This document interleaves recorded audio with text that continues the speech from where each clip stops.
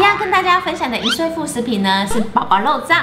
如果你不想要错过怀孕、育儿、亲子相关的资讯，要记得订阅我们的 YouTube 频道，还要开启小铃铛哦，让我们陪伴孩子一同成长。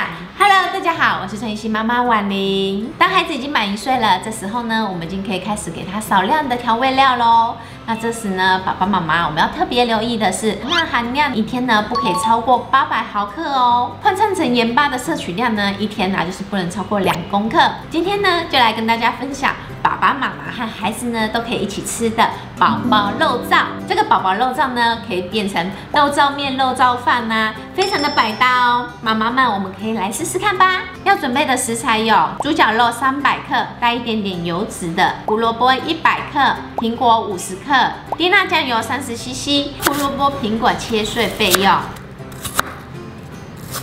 现在如果你用薄片这样削啊，可以比较省时，而且削的比较小片，到时候我们在后面弄的时候啊，就可以比较省力。猪脚肉放入锅中拌炒，将油脂逼出来之后呢，我们再放入胡萝卜、苹果一起炒软，水分都出来就差不多了。加入低钠的酱油以及水拌匀，最后啊，我们再用电锅蒸一下，让肉质入味，口感更软一点。外锅倒入一杯水。你跑那么远，要不要吃饭？回来回来，我们今天吃的是肉燥饭。你先吃，你先吃。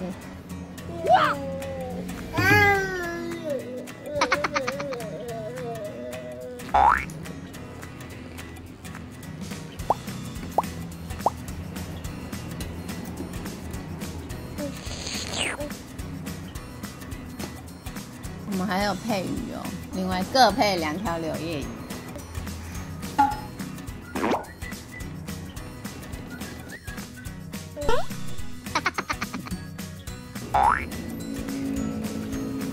谢谢。哇！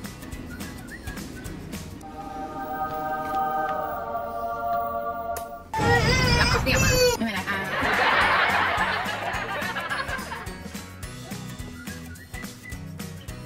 妈咪们，你家的宝宝已经满一岁了吗？每次啊，我们在吃副食品的时候遇到了什么样的问题呢？第一，每次都要清理呀，都快崩溃了呢。第二，孩子常常吃饭分心。第三，其他，欢迎爸爸妈妈们呢在下方留言跟我们做分享，还可以分享呢，你有什么方法可以让他把注意力回到我们吃饭上面哦？喜欢我们的影片啊，要记得帮我们按赞、订阅、分享，还要记得开启小铃铛，这样子呢，你才不会错过我们任何精彩的影片喽。